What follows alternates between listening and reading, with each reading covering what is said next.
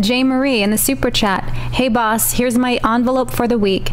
Can you explain to us how the VIG works? Who has to pay and how much? And did street guys who weren't made have to pay also? Thank you, Sammy. Take care. Yeah, in, in the mob, you know, you, you don't have to be a made guy. It's hard to become a made guy. You could be an associate to the mob. And then there's made guys. Above them are captains, caporegimes. Above them is the administration boss, underboss, and consigliere of the family. Everybody pays up. Now, why you do that is because when you go in business or you need a favor, you're getting the strength of the whole family. So for the family to eat, everybody goes up what, what they do, a percentage. It doesn't have to be a lot, it has to be something. And because you, ultimately you're using our power, our strength. You have a business, you have a problem with a union, a lot of times you go to your guy, whoever it may be, he goes to whoever he's got to go, and we resolve your problem.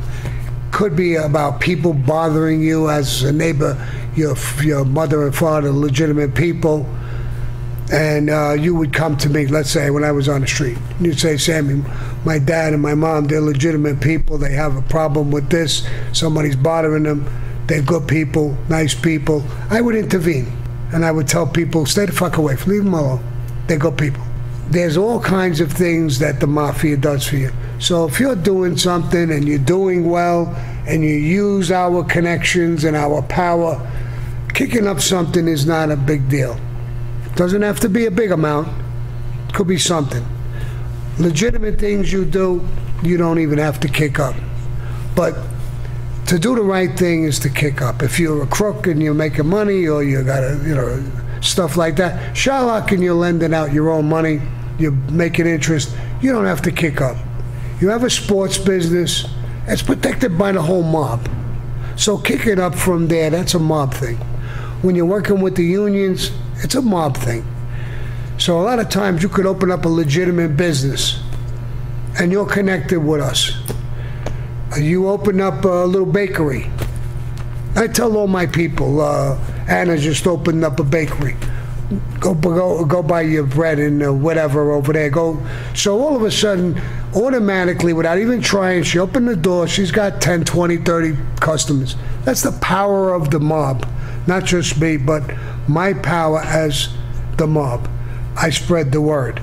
Now she has to have a good product and, and a good, you know, good way and good price, and she'll be successful. It's easier to be successful when you have our, our power behind you. So there's nothing wrong with kicking up, and uh, most of the times it's, you know, appreciated Uh, just like somebody's doing now. I, nobody's telling anybody to give me an envelope, but they give me an envelope. It's appreciated. And there's no requirement on it. Nobody's asking you, nobody's putting pressure on you, nobody's saying somebody gave more than another person.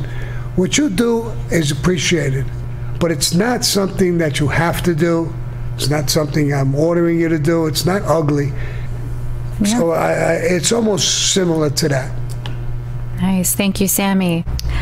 Fun for Reason in the super chat. It's Monday again. Time to listen to Sammy. Greetings from Estonia. Please give Sammy his cigarello back. Love the content. thank you. Thank you. I appreciate that. So, uh, Yes, uh, where's my cigarillos? Yo no sé, yo no sé. no, all right.